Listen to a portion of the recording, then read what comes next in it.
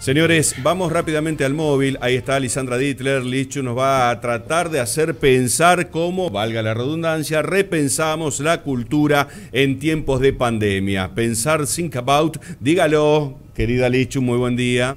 ¿Cómo va? Buen día, buen miércoles. Así es, vamos a ponernos pensativos, sobre todo el eje va a estar centrado en la cultura y es por eso que mañana va a haber una charla, pero para más detalles ah, nos encontramos con la subsecretaria de Cultura Municipal, Karina Neto. Bueno, una charla virtual, seguimos con esta modalidad, ¿no? ¿Cómo va? ¿Qué tal? ¿Cómo les va? Buenos días.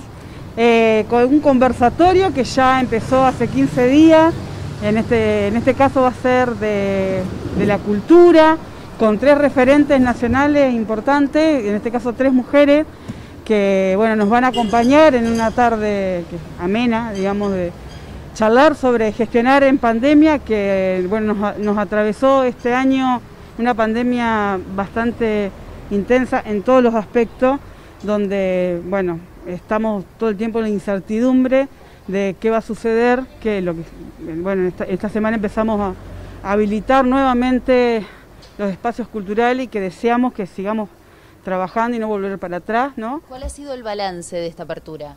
Bueno, por lo pronto todo bien. Igual seguimos trabajando protocolos, eh, seguimos habilitando, estamos trabajando en las habilitaciones porque obviamente es súper necesario que, la gente que vuelva a habitar esos, esos lugares se encuentre en buenas condiciones, ¿no? Eh, hay, bueno, hay diferentes sensaciones, ¿no? De volver a estar el lugar, también está el miedo porque eh, el virus te ataca y no se sabe cómo es, digamos. Pero la, idea es aprender a convivir con el virus, eh, respetando y cuidándonos entre todos, ¿no?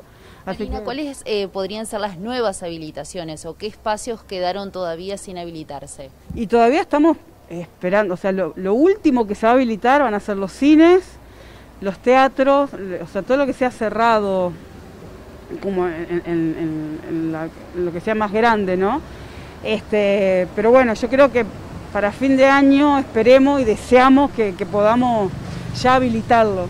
Y de a poco empezar con los lugares abiertos, que es como lo más difícil de controlar, ¿no?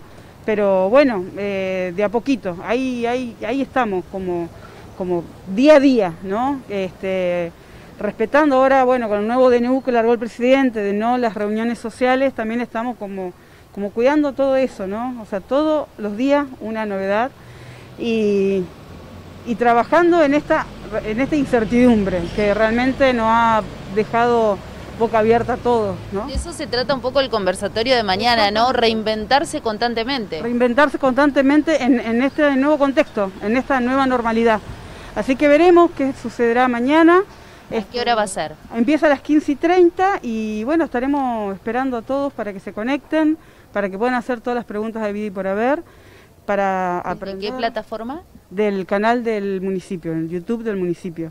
ingresan ahí y ahí ya se van a encontrar. ahí estaremos y bueno, vamos a desdudar en esta incertidumbre.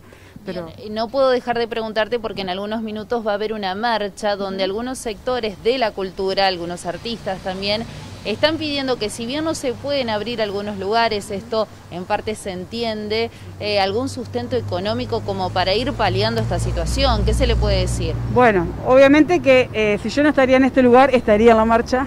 Eh, en, este, en, este, momento me toca estar de este lado, observando, mirando, escuchando, ¿no? Em, se sabe que en el municipio se encontró en el peor estado, todos lo sabemos. Lo que hemos tratado de hacer en este, por ejemplo, lo más urgente fue eh, arreglar lo del FACAC, que fue lo que no se estaba pagando, que bueno, era muchísima plata, muchísimos beneficiarios, con proyectos realmente extraordinarios, y lo que se logró que con el presupuesto del 2020 del FACAC se pueda pagar lo del 2019, que realmente fue un logro impresionante, tanto de ellos como, como de la gestión.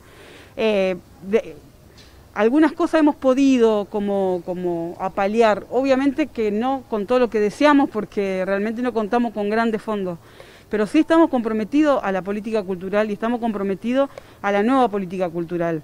Y realmente eh, en eso estamos y tenemos las puertas abiertas para, para, para trabajar conjuntamente. Así que sí, es, es, doloroso porque siempre, y lo digo yo que vengo de la cultura, vengo de la música, eh, eh, siempre ha sido la cultura un, último número, digamos. Pero bueno, yo creo que tanto la gestión municipal como la gestión provincial eh, están, estamos haciendo cosas para, para romper con este mito. Ojalá lo podamos cumplir, digamos, y no, no armar el Festival de la Demagogia, pero yo creo que lo vamos a poder cumplir a medida que podamos.